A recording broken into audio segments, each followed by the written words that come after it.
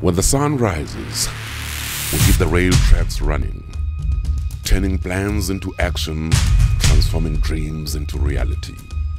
No tonnage is ever too small or too large to handle. We break boundaries.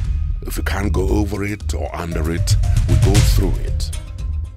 It's the insane dedication to rail the world that keeps us up till nightfall to do the odds. Touching horizons beyond reach. Not just delivering commodities, but delivering the world. Making the impossible possible. This is Transnet Freight Rail, railing South Africa forward.